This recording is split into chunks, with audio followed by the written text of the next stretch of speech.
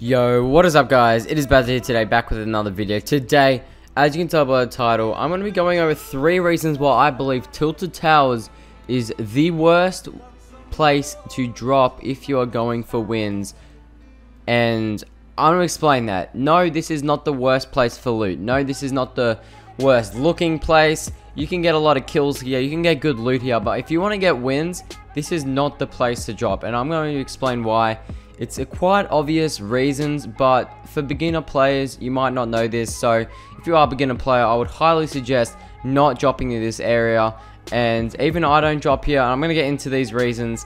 So anyway, let's get into the let's get into the reasons here. So three reasons. My first one is, well, you guys know this whole entire map is, well, sorry, not the not the map, the um, the uh the the buildings all high. Uh, you have if you're walking at the bottom, you're very below, or so you're very low down, and you don't have an advantage to anyone that's in a in a building or on top of a roof. Now, we all know in Fortnite Battle Royale, the key to getting gunfights and winning gunfights is having a height advantage and killing from uh, or shooting at your enemy when you are higher than them. And this area is not the place you want to drop if you don't want if you don't want to be shot from above. People camp on top of buildings, people camp in buildings, shoot at you through the windows.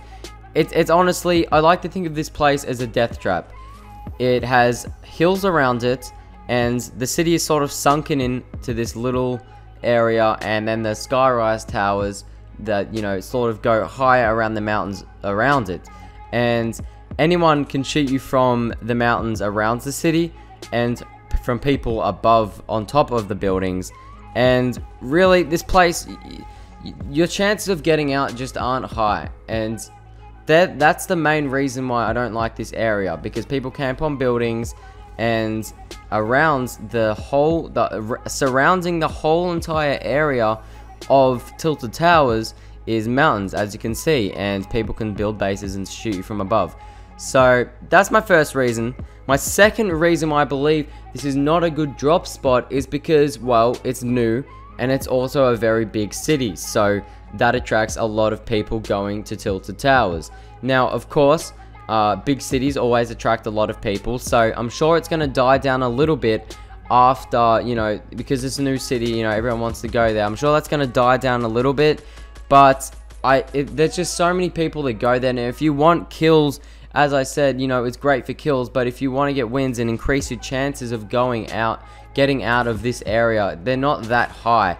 And that is the main reason why you don't see me drop here, because if I was to go to factories, 9 times out of 10, I'm going to get out of there with full shield, guns, maybe one or two kills, depending how many people drop there.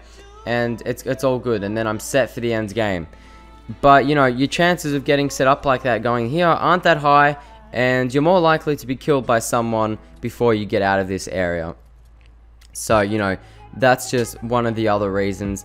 Now, the other reason is that it really just isn't a practical spot for, or not practical, but if you're a beginner at this game, uh, it, it's not helpful when you have to find chests in top of building. Now, I know this reason, this, just hear me out here. I know this sounds stupid, but if you're a beginner player, and you're trying to find chests in buildings the whole time, right?